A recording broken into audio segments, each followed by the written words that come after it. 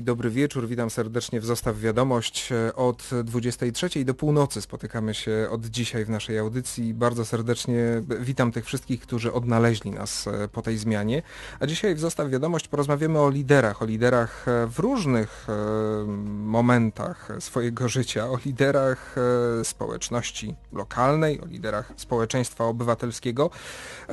Inspiracją dla nas była Szkoła Liderów, która powstała w 1994 roku roku. To szkoła, która od, od tamtego momentu wyszkoliła około 3000 osób. Jej celem jest rozwój społeczeństwa obywatelskiego, czyli między innymi, między innymi kreowanie postaw liderskich, a wśród absolwentów tej szkoły są dwaj nasi dzisiejsi goście. Adam Grzegżółka, zastępca burmistrza dzielnicy Praga Południe w Warszawie. Dobry wieczór. Witam serdecznie. I Przemek Pasek, Fundacja Jawisła, człowiek, który przypomina w Warszawie, że leży nad wodą, nad rzeką. Dobry wieczór. Czołem. E, jesteście liderami. W, w, rok tylko e, było przesunięcia w waszych edycjach, kiedy wy do tej szkoły liderów poszliście, ale dzisiaj też jesteście dwoma liderami, którzy e, wybrali dwie różne ścieżki. Adam, samorząd lokalny, Przemku, ty w organizacji pozarządowej, którą też stworzyłeś. I pewnie jesteście też w różnym momencie, w różnym momencie swojego życia i swojego bycia liderem. Chciałbym Ciebie na początku, Adamie, zapytać e, o, o, o Twój scenariusz. E, czy ta, mm, ta, ta, kariera w samorządzie lokalnym to było coś, co, co było taką drogą wymyśloną, określoną, pożądaną, czy, czy to splot jakichś wydarzeń sprawił, że właśnie tutaj postanowiłeś się odnaleźć? Ja najpierw przeproszę, że czasem mój głos może źle brzmieć, bo splot pewnych wydarzeń sprawił, że mam struny głosowe zainfekowane, ale E, już wracając do tematu, to e, ja myślę, że to bardziej kwestia mm, nie tyle planu i, e, i kalkulacji, co pewnych emocji i takiej siły wewnętrznej, która mnie pchała od, od już dosyć długiego czasu do tego, żeby coś działać, zmieniać, żeby się angażować w różne rzeczy. Moja aktywność społeczna, a później też polityczna zaczęła się w szkole średniej i ja myślę, że to miejsce, w którym ja dzisiaj pracuję i, i ta, mm, te zadania, które realizuję, to jest y, pewna konsekwencja tego, co się zaczęło parę lat temu i, i tego, że miałem taką, miałem i mam nadal i mam nadzieję, że będę miał taką potrzebę, żeby coś dookoła siebie zmieniać. No myślę, że ta zmiana to jest też to, co tobie, Przemku, e, towarzyszyło. Tylko pytanie, czy, czy e, z takim samym pomysłem, czy zawsze był jakiś taki pomysł na to, żeby e, zrobić coś w Warszawie, żeby zrobić coś e, z Wisłą, z ludźmi? Jeśli chyba bym podpisał pod tym, co mówi Adam, że trochę może bardziej stroma ścieżka emocjonalna. E, też w szkole średniej byłem w samorządzie, ale pamiętam, że tego samego roku z tej szkoły wyleciałem i zacząłem zmieniać e, szkoły. Ale w końcu gdzieś tam gdzieś tam to, co robię teraz wynika z niezgody na rzeczywistość taką, jaką zostaje w Warszawie. Z tego, co widzę wokół siebie, szczególnie nad rzeką. Wszystko się zaczęło od małej, zardzewiałej barki, którą nie chciałem się zgodzić na to, żeby została pocięta na złom i, i tak się zaczęła przygoda z herbatnikiem i, i wszystkie następne sytuacje są tego konsekwencją po prostu. Mm, ta zmiana, y, rozumiem, że w pewnym momencie musiała być dla ciebie, musiałeś się sobie wyobrazić jako możliwą, że, że, że coś jesteś w stanie zrobić, bo bardzo często słyszę się e, taki głos, no, nie da się, no, a nawet gdyby się miało dać, to jak? No dlaczego ja? Rozumiem, że lider w twoim przypadku to jest ten człowiek, który mówi tak, da się i to i ja też jestem w stanie zrobić? Wiesz, to chyba y, po prostu się y, robi zaczyna się po prostu pracować. Coś się zaczyna robić, jakieś działanie się podejmuje. I, i, i po prostu ca, całe następne sytuacje wynikają z tego działania. Po prostu jedno działanie powoduje następne, e, jedni ludzie przyciągają następnych i to się zaczyna kręcić. Czyli nie ma na początku takiej decyzji, no tak, wchodzę w to i biorę, biorę też jakąś odpowiedzialność na siebie i podejmuję jakieś ryzyko? W moim przypadku to była też duża taka e, przestrzeń nieświadoma, bo prze... cel na początku był troszeczkę inny, przyznam się. E, I dopiero ludzie, którzy tam zaczęli przychodzić na herbatnik do portu Czerniakowskiego, jakby uświadomili mi to, jak ważne jest to miejsce i kiedy musiałem szukać odpowiedzi na pytania, które mi zadawali, to mi tak naprawdę dopiero otworzyło oczy. To był ten moment zmierzenia się. No tak, no zmierzenia się z ludźmi po prostu i, i próba stanięcia na wysokości zadania. Że coś, coś tutaj nie pasuje w tej rzeczywistości do końca i trzeba znaleźć rozwiązanie. Coś nie pasuje i trzeba zmienić. Tak, ja, ja, mam podobne refleksje. Znaczy, mm, to jest jakaś wewnętrzna siła, która, która jest w człowieku. I ja na przykład sobie e, zwykle nie zadaję sobie tego pytania, o którym ty powiedziałeś, dlaczego ja? Mm, Jak zaczynam robić. Czasem się później pojawia refleksja, moment, moment, moment.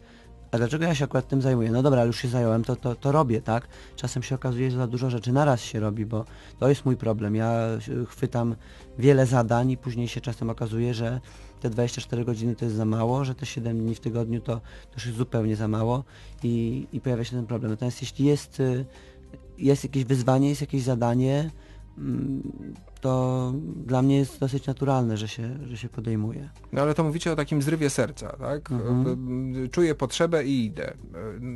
Ile to ma wspólnego z takim świadomym zarządzaniem, ze świadomością tego, co jestem w stanie, czego nie jestem w stanie, bo na pewnym etapie to już zaczynają być takie zadania, przy których no, nie, nie można sobie pozwolić na taką wolną Amerykankę. Trzeba mieć już jakąś i, i podbudowę, i wiedzę, i umieć być może delegować pewne obowiązki, mieć jakichś ludzi wokół siebie skupionych. Znaczy ja myślę, że to jest tak, że jest ten impuls, który powoduje, że ja będę mówił o sobie, być może Przemek czy, czy inni mają podobnie. Ja mam tak, że mam impuls, który powoduje, że się angażuję, że wchodzę w cudzysłowie mówiąc w coś, a ten etap, o którym ty mówisz, już planowania tej pracy, przychodzi później. Ja w pewnym momencie mówię, dobra, to teraz trzeba to jakoś, y, już, już, już wiadomo, że robimy, to teraz jakoś trzeba podzielić zadania, to teraz jakoś trzeba zorganizować tą pracę, ym, zaplanować to i to już jest na etapie jakby zarządzania zadaniem, a nie podejmowania decyzji o tym, czy w to zadanie wchodzić. Ten impuls myślę, że jest dosyć ważny, bo on właśnie angażuje innych ludzi po prostu. To jest em, trochę jak taki nadmiar energii, który się ma w pewnym momencie e, i, i ten która się nadmiar udziela. energii, tak, który porywa innych ludzi do tego, że nagle patrzysz, że robisz coś może bezsensownego, może coś, czego nikt inny wcześniej nie robił, a jest potrzebne i że inni robią to z tobą. A potem w, momencie, gdy osiąga to jakiś e, większy wymiar, e, no to potrzebne jest rzeczywiście to delegowanie zadań, organizowanie, co jest dosyć e, skomplikowane i trudne. Ja się tego musiałem uczyć i wcale nie jestem pewien, czy do tej pory to dobrze opanowałem. Ja mam z tym cały czas problem, bo mam wrażenie, że znaczy dla mnie delegowanie zadań jest strasznie bolesne. Znaczy to znaczy, że ja jakiś kawałek rzeczy, na której mi zależy, z którą mam emocjonalny związek, muszę komuś oddać. Ja to rozumiem, że tak musi być, bo nie ogarnę wszystkiego, a jednak jest to bolesne. Ja myślę, że to jest ważne, bo y, y, znaczy liderstwo to nie jest y, chłodna kalkulacja i lider to nie jest taki koleś, który potrafi wszystko najlepiej zaplanować. Lider to jest ktoś, kto ma w sobie tę, tą energię, która się udziela innym. I on powinien oczywiście mieć te zdolności menedżerskie, to sprawia, że będzie skutecznym liderem, ale to nie może być tylko kwestia dobrego rozplanowania. To musi być ten ogień. Mhm. No, to jest wasza wizja. E, a- co w związku z tym z przygotowaniem do tej, e, do tej roli? Bo mm, ty, Przemku, powiedziałeś w którymś momencie, no musiałem się tego nauczyć. No, Nawet nie wiem, czy do dzisiaj się nauczyłem, ale e, co to znaczy nauczyć się? Między innymi szkoła liderów to było coś takiego, po co sięgnęliście, e, z czego chcieliście skorzystać. E, No bo ludzie mówią, no pójdziesz i się nauczysz w, w działaniu, nauczysz się w, w trakcie robienia różnych rzeczy, ale wy sięgacie po coś jeszcze. No, ale szkoła liderów to było bardzo ważne doświadczenie. E, Ja na przykład nauczyłem się tam publicznie przemawiać, czy Mhm. rozmawiać z mediami. Nie potrafiłbym tutaj siedzieć i swobodnie rozmawiać e, w tym momencie, bo pamiętam wcześniej, w dwa- w 2005 roku, nie byłem w stanie się przedstawić przed kamerą. Po prostu zaczynałem się i nie byłem w stanie jasno wyłożyć swoich myśli, a to jest niezwykle ważne, kiedy pracujesz w jakiejś sprawie publicznej, żeby móc o tej sprawie powiedzieć. Mhm. Że ja myślę tak, że nie ma takiej szkoły, która zadziała w ten sposób, że przyjdzie człowiek, który nie ma pomysłu na siebie i żadnych y, ambicji czy aspiracji i nagle się z niego wykreuje nie wiadomo kogo. To jest tak, że jeżeli ktoś ma w sobie potencjał, jeżeli ktoś ma, sobie, ma, ma pomysł, ma wizję, ma chęć działania, to szkoła liderów jest doskonałym, ym, doskonale pomaga y, rozwijać warsztat, daje narzędzia. Tak można się nauczyć pewnych technicznych rzeczy, można się wielu rzeczy dowiedzieć, o których być może się wcześniej nie miało pojęcia, na przykład z zakresu zarządzania zespołem, tak, albo na przykład z zakresu y, planowania. Y, to jest taka wiedza, którą można wykorzystać, ale trzeba mieć tą wizję i ten pomysł na siebie. A skąd się bierze wizja?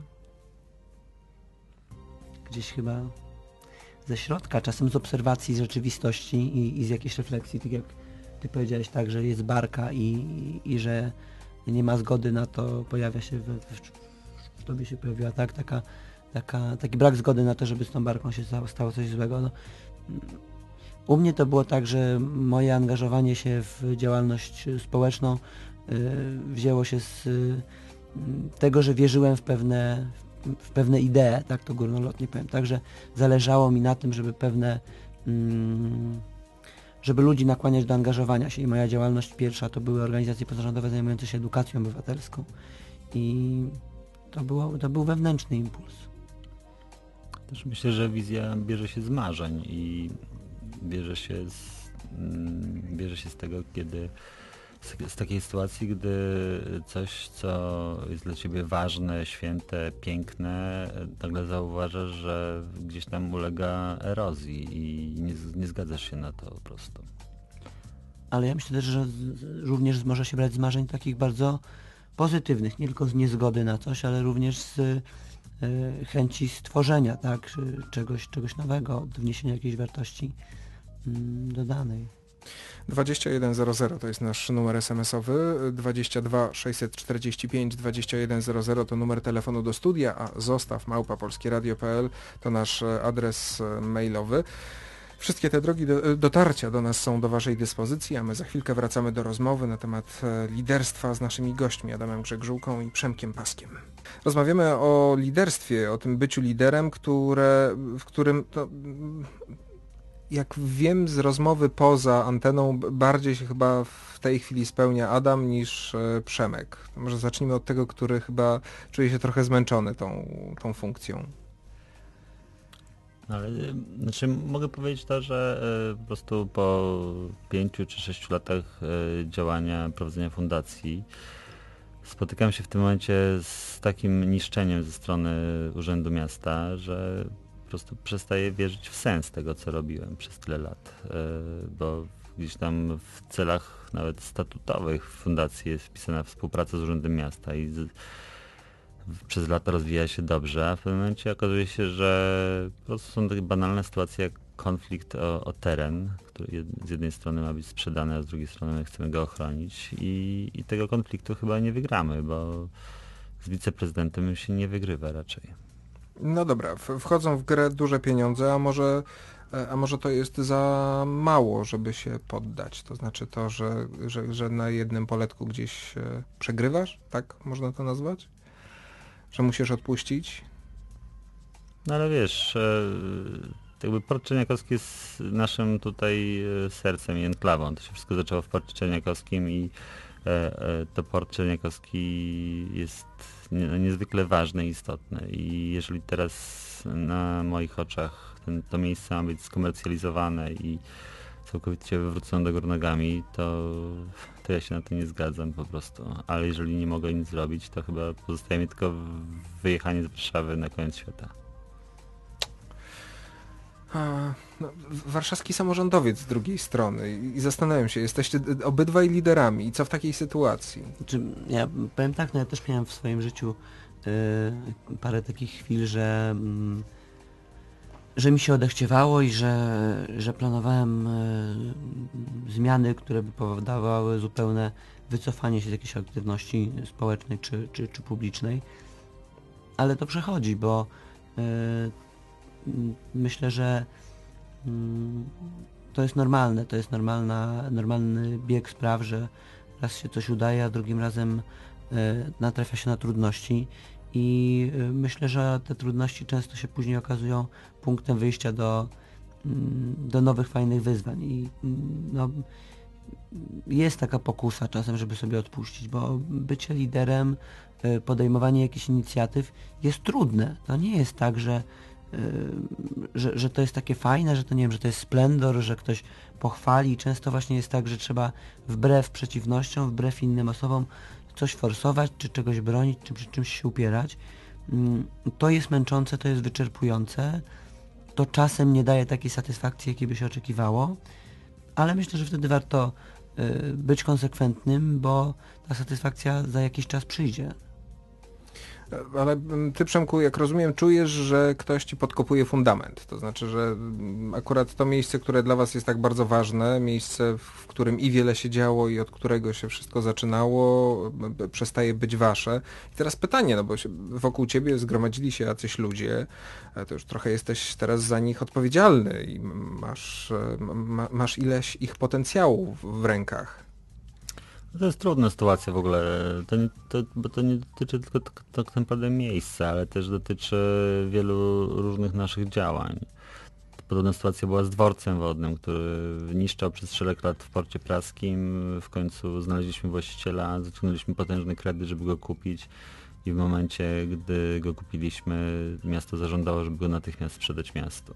Mhm. A kiedy odmówiłem, to po prostu zero współpracy zero w ogóle możliwości jakiejkolwiek innej alternatywy, żeby wspólnie coś zrobić. E, tylko albo będzie nasz, albo nie.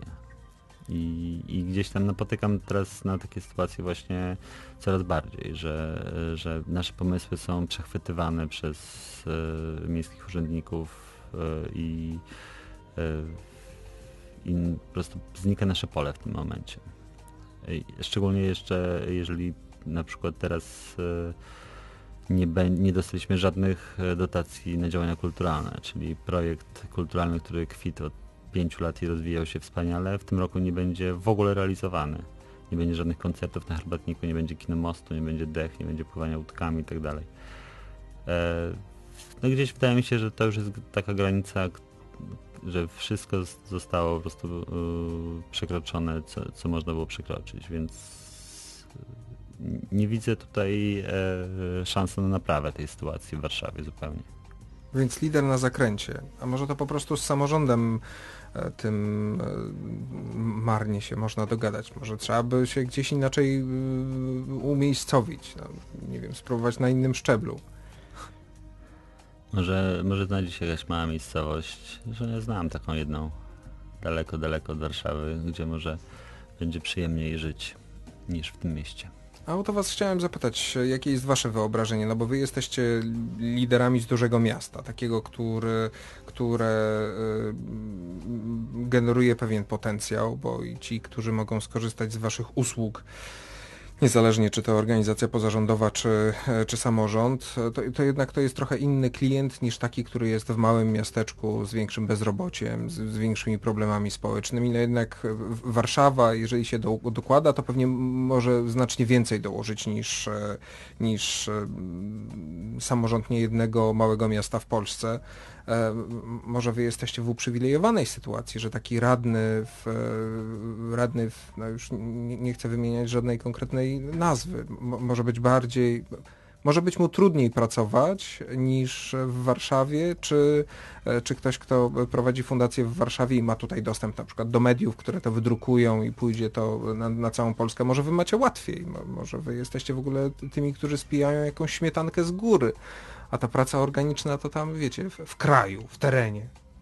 Ja myślę, że bez przesady. Myślę, że y, to jest tak, że w całej Polsce to może trochę banał, ale y, cały czas się uczymy tego, jak załatwiać sprawy wspólne, co to jest dobro wspólne, na czym ono polega i, y, i jak można współpracować dla realizacji y, lokalnych zadań czy lokalnych interesów mamy krótkie doświadczenia w tym, tak, bo polska demokracja się odbudowuje dopiero od 20 lat. I ja mam też obserwację, bo pracowałem w mniejszej miejscowości niż Warszawa w samorządzie.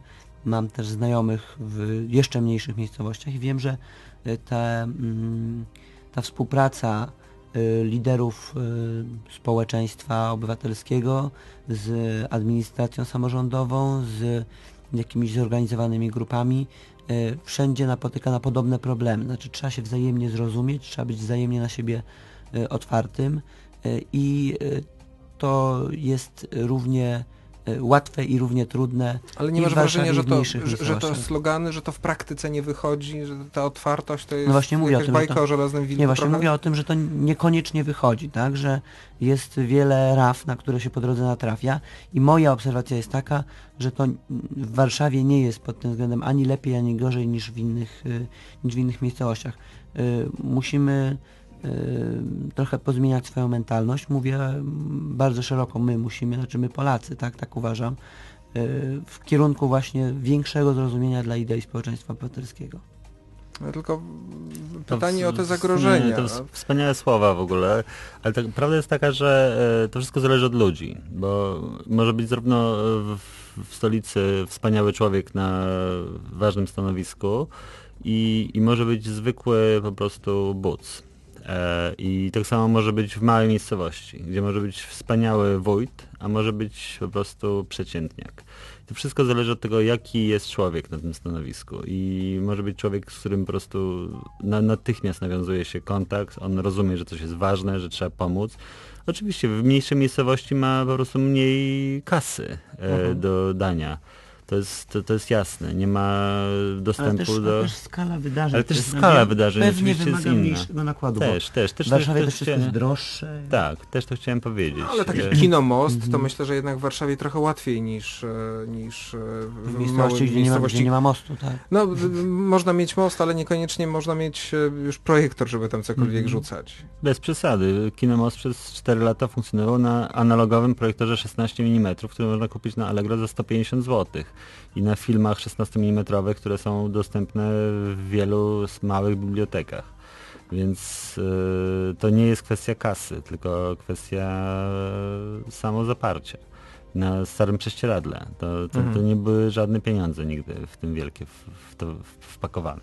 Czasem takie pionierskie wydarzenia mają lepszy smak niż y, te robione za wielkie pieniądze. No, stąd popularność e, tych e, inicjatyw No, Fundacji natomiast Wisła. natomiast e, no po prostu je, je- jeżeli człowiek na wysokim stanowisku traktuje organizacje pozarządowe jako kwiatki na balkonie w doniczkach, na, na balkonie, z którego przyjmuje defilady, a po, po defiladzie kwiatki wyrzuca do kosza, to niestety jest słabo. No. I ja sparzyłem się i, i przestaję wierzyć w, w to społeczeństwo obywatelskie, w które przez wiele lat wierzyłem, bo okazuje się, że jednak e, panowie tego świata mają to w nosie po prostu tak naprawdę. Bo może to jest kwestia tego, że za dużo zależy w, w tym przypadku od polityków. No, szczególnie w Warszawie. Nie, nie da się działać jakoś poza, dalej? Ale politycy w Warszawie rządzą samorządem i rozdają kasę. I to szczególnie jest bolesne, gdzie w Warszawie y, miastem rządzą ludzie, którzy moim zdaniem są daleko od Warszawy, od problemów Warszawy.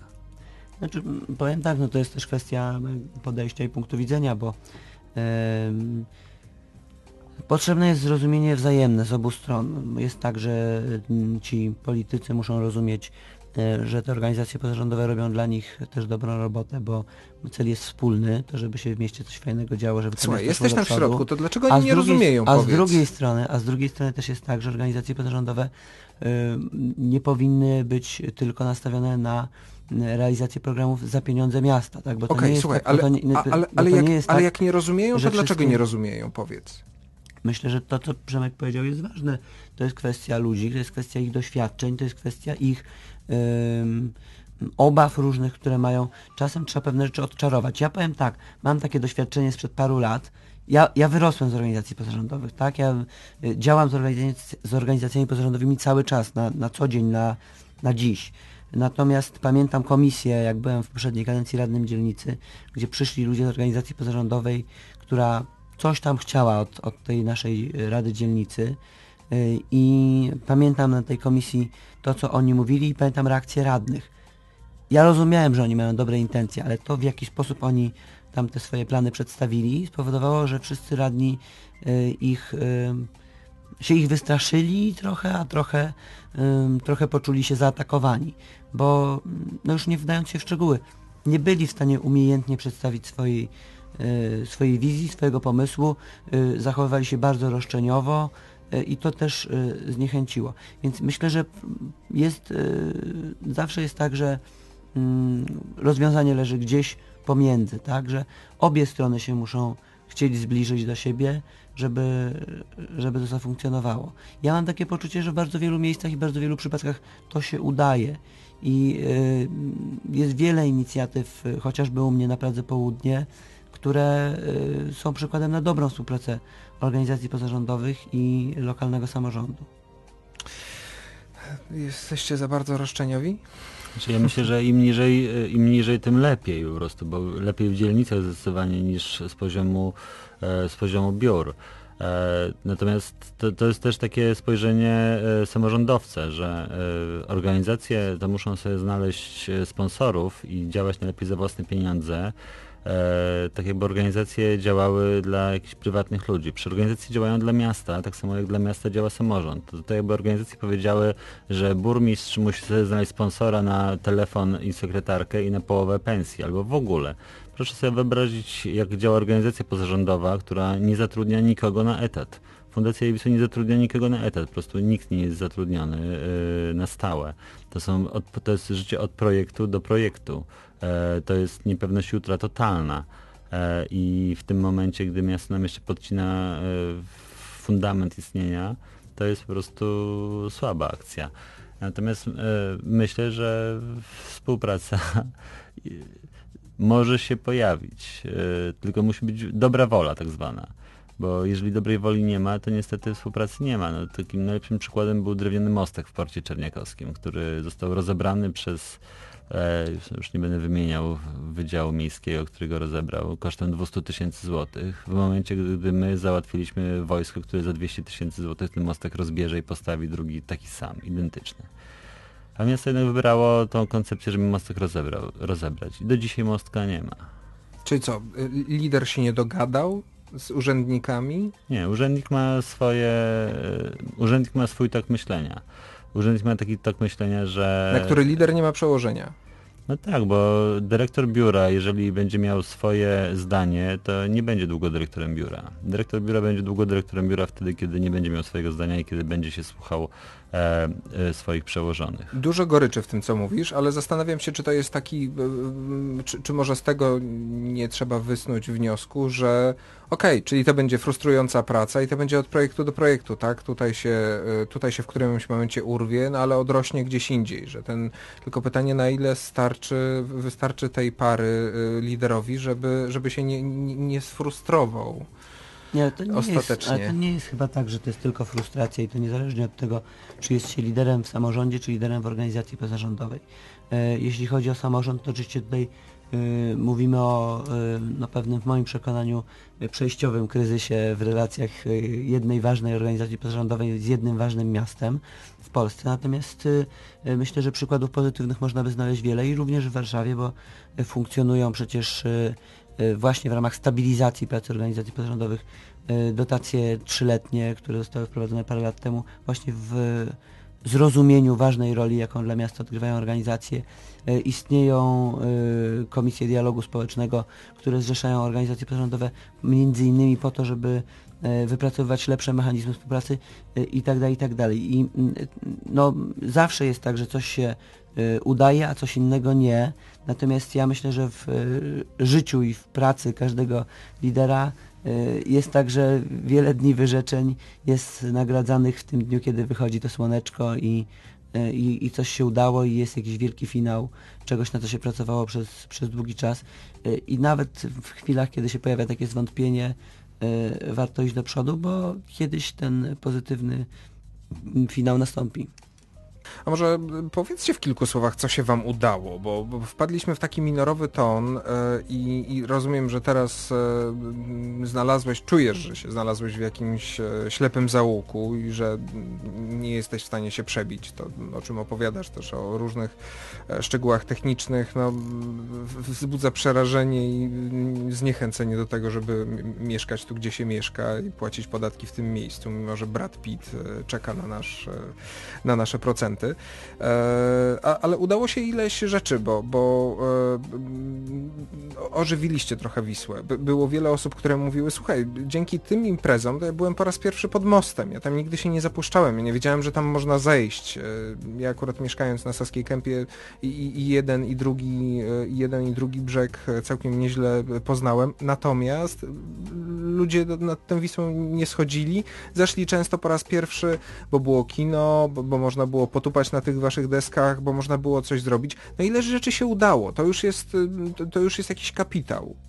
No tak, no, wszystkie projekty były strzałami w dziesiątkę. Czego byśmy się nie tknęli, to na był przykład. sukces. Kinemost, koncerty na Barce Herbatnik, festiwal Kołojana, pływanie krypą, pływanie batem, pływanie stworą, e, spacery z pochodniami, spacery z lampionami wzdłuż Wisły Warszawskiej, e, rajdy rowerowe i spływy kajakowe małymi rzekami Mazowsza. E, no, wszystkie warsztaty bębniarskie, tańce na dechach, e, no, wszystkie te działania cieszyły się ogromnym powodzeniem, które mówi o tym, że ludzie chcą nad tą Wisą być, chcą przebywać, że to totalnie brakuje oferty, że ta oferta jest potrzebna, że i że niekoniecznie to musi być jeden wielki dzień czy noc, kiedy się strzela fajerwerki dla 200 tysięcy ludzi, to może lepiej, żeby to było wiele drobnych realizacji w różnych miejscach, kiedy tworzą się małe społeczności, które nawiązują tam z tym miejscem jakieś więzy emocjonalne i oswajają te miejsca i potem zaczynają je traktować jako swoje po prostu. I gdzieś tam taka właśnie była idea, że to jest nasze też dzięki temu myślę udało się wykreować to, co się, to co jest chyba najważniejsze w tym, czyli że przez tyle lat na herbatniku nigdy się nie stało nic złego. To było mnóstwo imprez, tysiące ludzi po prostu, dziesiątki tysięcy przez te lata i chociaż no, ochrona spała w samochodach, ci panowie nie mieli co robić po prostu, tam nikt się nie pobił udało się wykreować e, taką pozytywną energię w ludziach po prostu, że to jest, że oni tam przychodzą po to, żeby być w, jakiejś, w jakimś pozytywnym, pozytywnej energii i, i to było fajne. I tego mi najbardziej będzie szkoda w tym wszystkim. A co ci to robi jako liderowi? To, że możesz sobie spisać na, na ścianie tyle, tyle udanych projektów?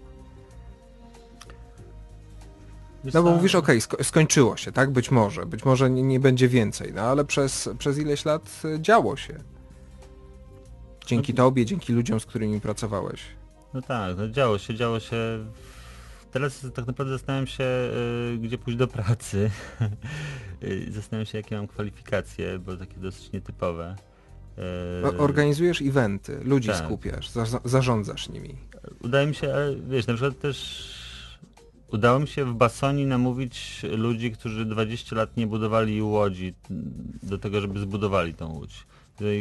Nie, nie było, to nie była kwestia pieniędzy, bo mieliśmy budżet z Ministerstwa Kultury, grant, żeby zapłacić im 10 tysięcy. Kupa kasy dla, dla ludzi na wsi, gdzie po prostu nie ma pracy, gdzie jest największe bezrobocie w kraju.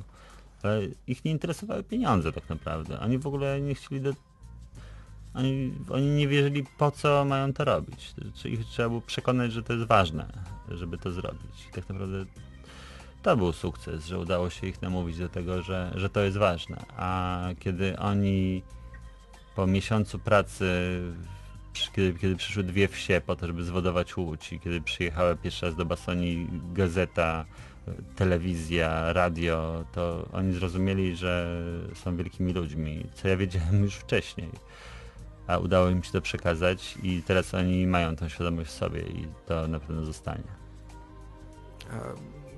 Mam wrażenie, że to jest opowieść o zdobytych kwalifikacjach w trakcie tej pracy. Tak, bo ty opowiadasz o konkretnych rzeczach, które, które ty potrafisz przekonać ludzi do czegoś, pokazać im ich umiejętności, zdobyć też grant, napisać, napisać taki projekt. Tak, to są mało, mało praktyczne, takie na, na dłuższą metę umiejętności. To się może przydaje dobrze, wiesz, w oddziale partyzanckim, a w rzeczywistym życiu trochę mniej.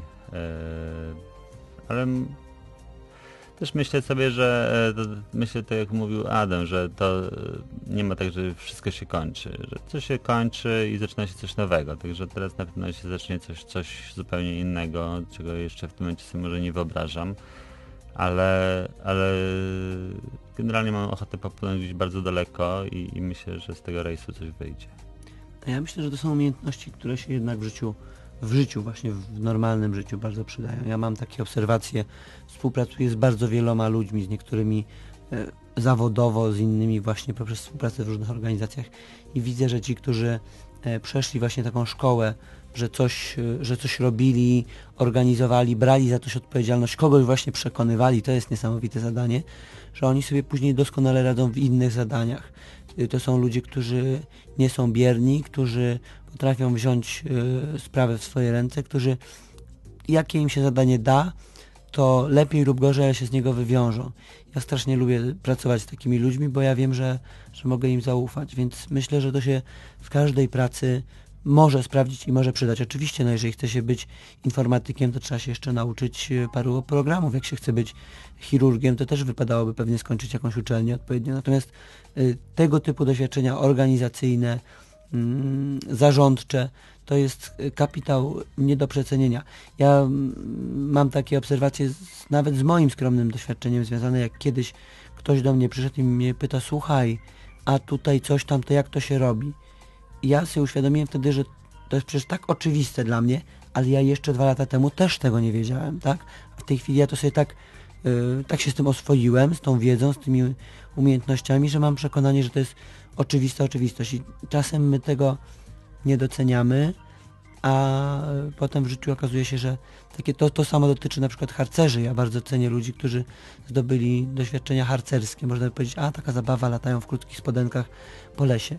Niesamowicie zorganizowani ludzie, którzy potrafią w pracy y, wszystko sobie dobrze poukładać i, y, i, każde zadanie, którego się podejmą, zrealizują. Więc y, tego typu doświadczenie na pewno nie, nie jest bezwartościowe. A czego ty nauczyłeś się w swojej pracy liderskiej? No, ja myślę, że ja się cały czas uczę, bo...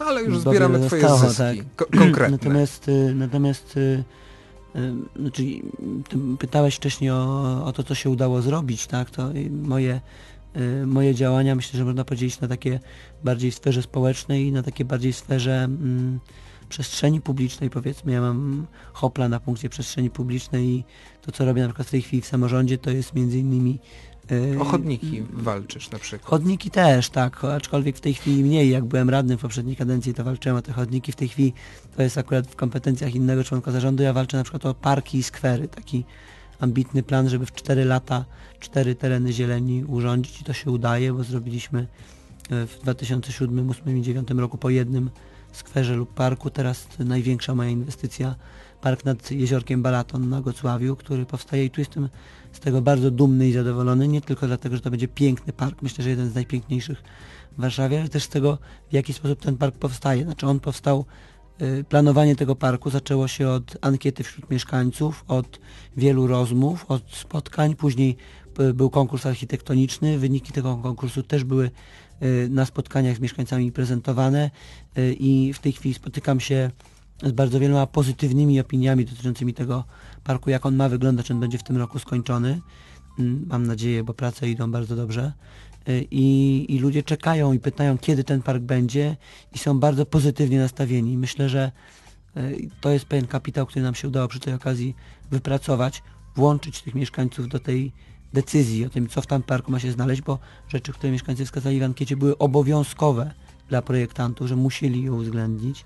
Mówię o elementach, które się w tym parku znalazły, na przykład plac zabaw, e, kawiarenka, pomost, e, tego typu, tego typu rzeczy. No zapewne będzie tam też mała przystań dla rowerów wodnych i, i kajaków, to jest małe jeziorko, ale, ale będzie taki element. Więc to, to, jest, to jest dla mnie pewien symbol tego, z czego ja się cieszę, bo z jednej strony fajna przestrzeń publiczna, która powstanie w miejscu terenu, który był no, mało efektywnie zagospodarowany bez charakteru. Tak. klepiskiem był dookoła Tak. balatonu. głównie. E, A z drugiej strony, i to jest chyba jeszcze ważniejsze, pewien kapitał społeczny zbudowany wokół tego.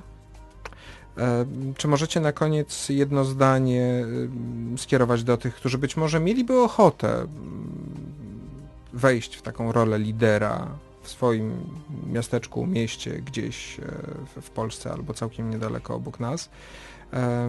To wy byście ich zachęcali do tego, czy, czy nie? Założywszy, że jesteście w różnym tak momencie. przeko- przekornie, e, troszeczkę nawiązując do wypowiedzi poprzedniej Adama, e, dla wszystkich, którzy chcieliby zostać e, liderami w samorządzie, e, nie, nie zapominajcie o tym właśnie, co teraz mówił Adam, bo Adam sprzedał bardzo dobrą, dobry sposób, e, że zaczęliśmy od ank- ankiet z mieszkańcami, włączyliśmy ludzi, zbudowaliśmy kapitał społeczny. E, To jest najważniejsze w tym wszystkim. E, Jeżeli się od tego zaczyna, to, to jest razem, tak? Zgoda buduje. To jest banały, ale to właśnie tak działa. A to, co mnie frustruje, to brak tego, o czym właśnie teraz mówił Adam. Czyli pamiętajcie o tym, żeby robić to z ludźmi i dla ludzi. I ja mm, pamiętam, jak kiedyś ktoś mnie poprosił o pro- przeprowadzenie szkolenia dla młodych e, osób, gimnazjalistów, którzy e, zaczynają się angażować w samorząd szkolny, może w jakieś inne organizacje. No i mieliśmy im zrobić takie szkolenie, które im pokaże, e, na czym polega praca w organizacji pozarządowej, co można robić, czy w organizacji, czy w samorządzie szkolnym, w każdym razie jakieś takie zaangażowanie społeczne. Ja pamiętam, że wtedy e, sięgałem do swoich doświadczeń z em, z pierwszych moich y, działań właśnie y, społecznych i zastanawiałem się, jak to przekazać tym, y, tym młodym ludziom i, i, i taka bezsilność mnie opadła, bo to jest tak fajne, że o tym się nie da opowiedzieć. Tak, naprawdę warto robić coś z innymi ludźmi, bo powstaje tam tak, taka masa pozytywnej energii, jeżeli się to rzeczywiście robi szczerze i bezinteresownie. Nie dla splendoru, nie dla pieniędzy, nie dla dowa- nie wiem, leczenia własnych kompleksów, tylko naprawdę po to, żeby z innymi ludźmi, bo to jest kluczowe, o tym mało dzisiaj mówiliśmy, ale lider nie jest y, samotną flagą na wietrze. Lider jest z ludźmi, wśród ludzi i właśnie to wspólne działanie daje ogromnego kopa pozytywnego. Miło się słucha liderów, ale trzeba kończyć. Bardzo dziękuję za wizytę w naszym studiu. Adam Grzegżółka, zastępca burmistrza dzielnicy Praga Południe w Warszawie. Dziękuję, bardzo. I Przemek Pasek, Fundacja Jawisła, człowiek, który y, zapędził warszawiaków nad brzegi Wisły i mam nadzieję, że będzie jeszcze to jakiś czas robił. Bardzo Ci dziękuję. Dziękuję również. Kolejne wydanie Zostaw Wiadomość już jutro. Zapraszam po 23. E, Do usłyszenia. Tomasz Kosiorek. Tomasz Kosiorek. Tomasz Kosiorek. Tomasz Kosiorek. Tomasz Kosiorek.